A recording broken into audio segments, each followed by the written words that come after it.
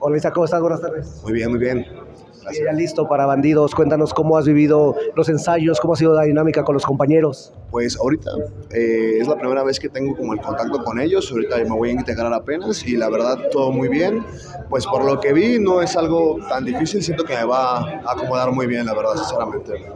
¿Y si te, si te gusta, te sientes a gusto en ese tipo de show? Claro, claro, totalmente.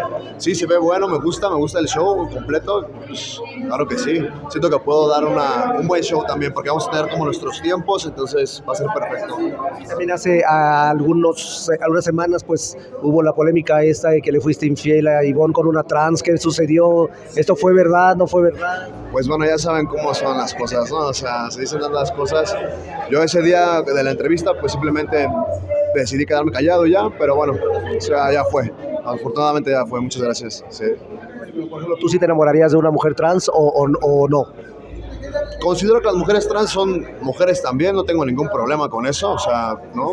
Es perfecto todo, adelante. Este, enamorarme, enamorarme, yo creo que tendría que conocer a la persona, salir, tener un tiempo, y pues podría ser, uno nunca sabe, ¿no? Pero... ¿El corazón cómo estás? ¿Soltero, acompañado? Totalmente soltero ahorita, sí, claro, claro. ¿Y las cosas, las características para que llegue una mujer a tu vida?